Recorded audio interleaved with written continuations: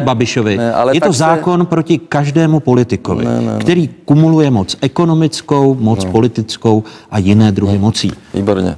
Takže Takže to jsou já, fakta. já vám chci jen jenom říct, že vy věcích, které vy jste urazil, když si dovolili čeští úředníci interpretovat český zákon, tak jste je poslal zametat sníh, pane premiére. To nevím, kam jsem je poslal. V rozhovoru pro novinky je, je CZ. absurd, jo, tak je to možné. Takže je, je jste ab- učinil. Můžu Takže teda něco říct? Už Nebo jste- budete stále sám mluvit? ne, vy jste, vy jste toho řekl dost a neodpověděli jste mi na tu dost. otázku. Jako nechtě mě laskavě mluvit. Jako. Pane premiére, tady není poslanecká sněmovna, toto je rozhovor. Ale pane redaktore, vy jste se mi pozval, vy jste stál o to, abych přišel, jsem přišel, tak mě nechte laskavě mluvit a já vám říkám, že je absurdní, aby zásadní záležitost této země řešil nějaký úředník v Černošicích. Ano, nech se stará o ten sníh. Znovu to zopakuji. Absurdní. A Vy Evropská nerespektujete- komise, vy Evropská... Vy nerespektujete Ale- zákon. ale když ty zákony Já ho jen má vykládat, Já ho jen komentuju. když Evropská... ten zákon Tak má... můžu mluvit nebo ne? Ale dovolte, abych korigoval fakta. Jaké Přece, jestliže Ale ty je to se nerozhodli ještě. rozhodli, Nerozhodli. Je tam Rozhodli. a skorumpovaná neziskovka Transparency International. Ano. takže, takže když, když není po vašem, tak všichni jsou skorumpovaní, nerozumějí tomu a mají jít zametat sníh. Vy nerozumíte tomu, co já vám říkám? Tady je zákon o střetu zájmu. Kvůli Babišovi, Lex Babiš.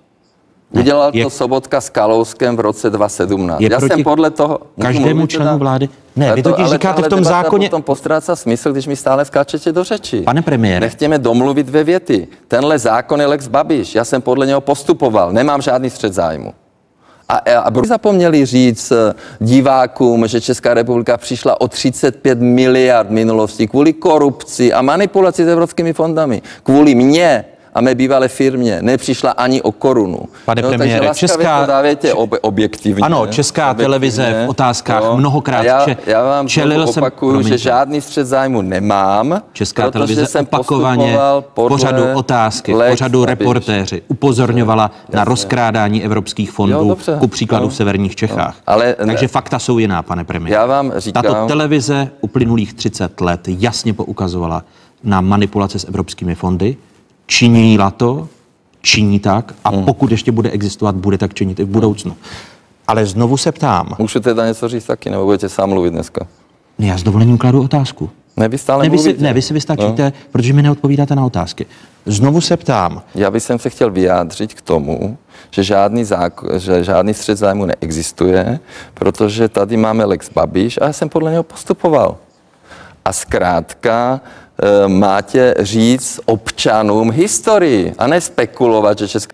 o tom, že by Česká republika něco vracela, jsem tady v tomto rozhovoru neřekl No, ani no vy slovo. ne, ale vaši kolegové. Často tak, mi nepo, tak mi nepodsouvejte to, co říkají novináři, ale bavme se, protože o tom je rozhovor. No. Já položím otázku Jo. a vy pokud možno jste Ale schopni já nejsem na naslouchat. výslechu tady, já nejsem u policie, pane redaktore.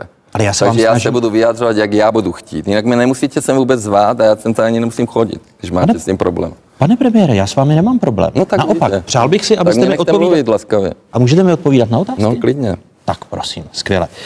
Vy jste v souvislosti